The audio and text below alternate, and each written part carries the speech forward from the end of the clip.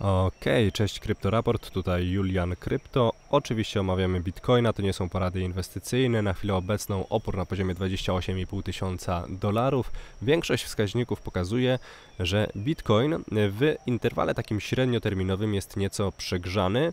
Tym bardziej warto zwrócić uwagę na to, że 14 kwietnia, czyli za kilka dni już, Podobno rząd USA ma zamiar sprzedać około 10 tysięcy bitcoinów. 10 tysięcy bitcoinów to nie jest dużo, e, tak by się e, mogło wydawać, że to jest dużo, ale jeżeli zwrócimy uwagę, ile to jest 10 tysięcy bitcoinów, faktycznie to jest mniej więcej taki wzrost w rezerwach bitcoinów na giełdach.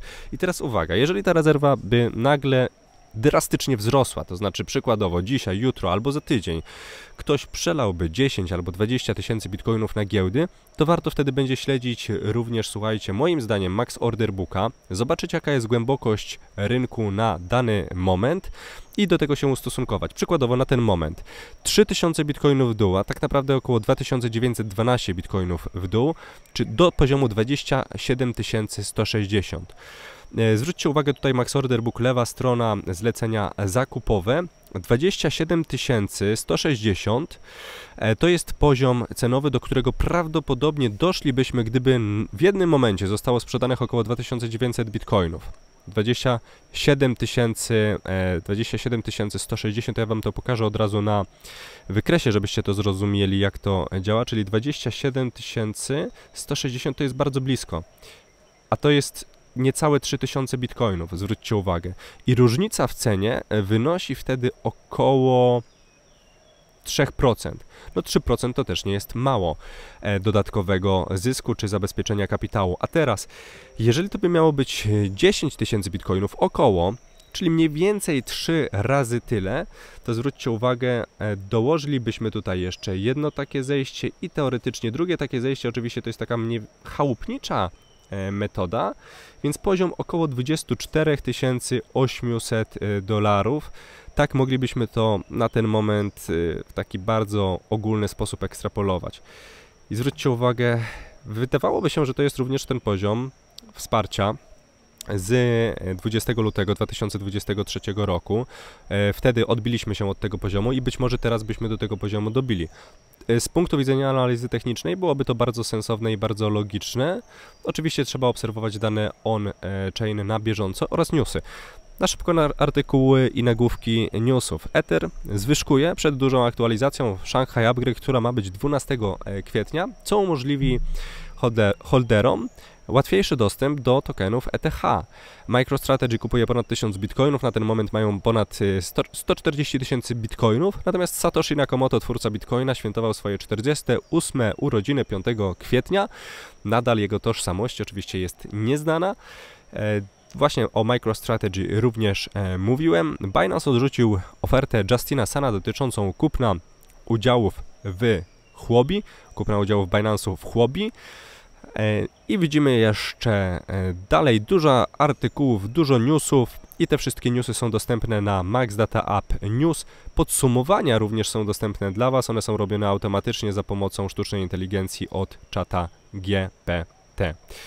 Przechodzimy teraz dalej. Tweety w ciągu ostatnich e, dni przede wszystkim nie tweety, ale Twitter zwrócił naszą uwagę i o Twitterze też powiem pod koniec tego materiału.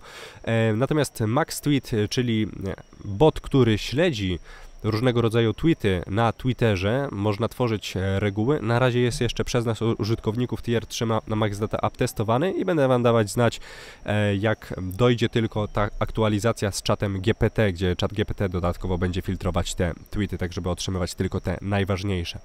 No i właśnie, przegrzanie rynku. Na ten moment e, cena w stosunku do liczby bitcoinów i liczby stablecoinów na giełdach wskazuje nam na no, przegrzanie. To jest interwał jednodniowy. Stochastic RS RSI wyciągnięty właśnie z Bitcoin Stablecoin Reserve Ratio. Akurat tutaj jest e, na płasko pokazane, ale jak kliknę prawym przyciskiem i e, kliknę przypnij do skali e, bez skali tryb pełnoekranowy, to zwrócimy uwagę tutaj na wzrosty tego wskaźnika, w zasadzie tej metryki, co sugeruje nam tyle, że no właśnie, dużo jest bitcoinów, mało jest stablecoinów i cena jest wysoka. Oczywiście e, inaczej skomponowany ten wskaźnik Stochastic RSI może pokazywać zupełnie różny e, różną analizę, analizę, dawać różne wnioski do wyciągnięcia. W związku z tym też musimy sobie zawsze zdawać sprawę, że wskaźniki są tylko pomocą i mogą nam coś podpowiedzieć, pokazać, ale nie są w stanie za nas rozegrać całej sytuacji. Warto moim zdaniem przede wszystkim śledzić rezerwy bitcoinów i na przykład LTHS OPR, czyli wyprzedaże ze strony długoterminowych holderów. Jak zauważycie tutaj takie wystrzały na tym LTHS OPR i pomyślicie sobie, że na przykład ten wskaźnik, że ta metryka e, jest bez sensu, ponieważ e, tutaj było wybicie, e, a cena potem wzrosła, to poniekąd się z Wami zgodzę, ale też polecę Wam przeanalizować tę metrykę w szerszym kontekście, na przykład na interwale 4-godzinowym i większość tych wystrzałów przeanalizować. Ja to robiłem i przy 80, a nawet być może więcej procentach E, po wystrzale cena rzeczywiście drastycznie spadała w większości sytuacji. Było kilka procent, kilkanaście procent sytuacji, e, w których cena po wystrzale rosła i te sytuacje były przede wszystkim e, wtedy, gdy wcześniej był, był bardzo duży spadek tej ceny, już zaliczony. Gdy wcześniej był bardzo duży spadek, tak jak właśnie tutaj miało miejsce 11 marca. Ale zacząłem od tego LTHS OPR, słuchajcie. No i na interwale jednogodzinowym, jak zobaczymy tutaj więcej, to zobaczymy już taki niewielki wystrzał. To jest niewielki wystrzał w porównaniu do tych wystrzałów wcześniejszych, ale jak wejdziemy na interwał 15-minutowy, no to wydawałoby się jakby był nieco, nieco większy. Warto moim zdaniem to śledzić, e, tym bardziej jeżeli tutaj pojawi się na, nagły wzrost rezerwy bitcoinów, to mogłoby oznaczać tyle, że te bitcoiny, które zostały wypłacone z tych portfeli, zostały później w jakiś sposób przelane na giełdy i taki, takie zagrożenie ze strony wtedy e, rezerwy bitcoinów moim zdaniem jest dużo, dużo większe. Dodatkowo profit and loss na blockchainie bitcoina. Na ten moment, na interwale jednogodzinowym, wskazuje na to, że jesteśmy w większości w zysku, czyli jesteśmy w tej czerwonej strefie.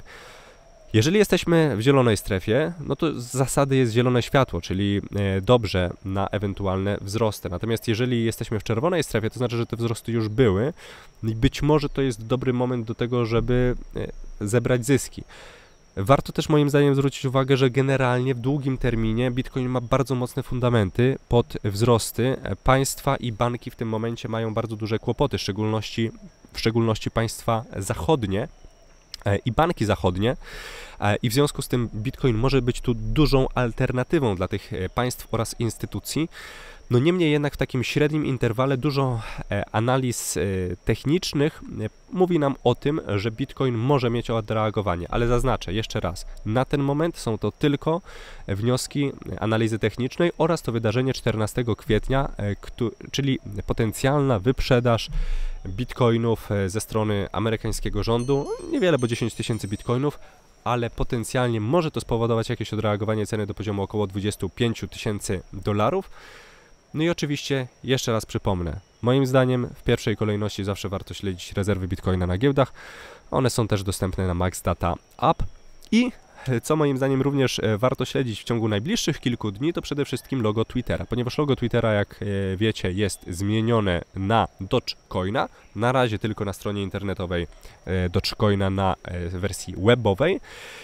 I teraz, jeżeli w ciągu paru dni, albo jutro, albo pojutrze, albo za tydzień. Miałaby być sytuacja, w której Dogecoin przestałby być na stronie głównej Twittera e, logiem Twittera e, powróciłoby stare logo, no to większość z Was odpowiedziała, że e, zagrałoby albo na spadki, albo sprzedałoby wszystkie swoje Dogecoiny, a w związku z tym potencjalnie bierzecie tutaj uwagę, że możecie na tym zyskać, zarobić.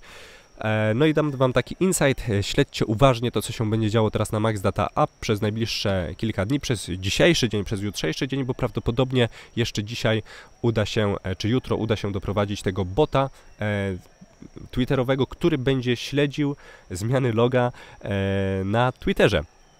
Jeżeli nagle pojawi się e, zmiana, to będziecie natychmiast poinformowani e, o tym. Więc śledźcie tutaj uważnie zmiany i obserwujcie na jakim tierze trzeba być, żeby do tego mieć dostęp. Ok, na ten moment to wszystko. Do Telegrama dołączacie poprzez Max Data App, dołącz Telegram, to jest całkowicie otwarte, za pomocą jednego kliknięcia bez rejestracji to robicie, a jeżeli wbijacie na Max Data App, to koniecznie z reflinku od kryptoraportu, dzięki czemu macie 10 dni dostępu do platformy za free.